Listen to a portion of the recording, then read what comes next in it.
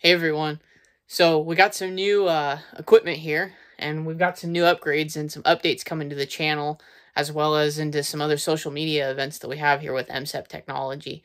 So we're we're preparing to try to really enhance the channel and really enhance like some of the the content that we show here on this channel.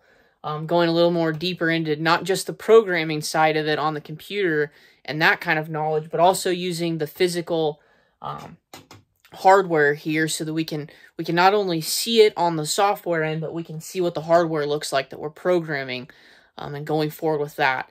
Um, here we have a little bit of automation direct stuff that we've already kind of put in our new lab area here.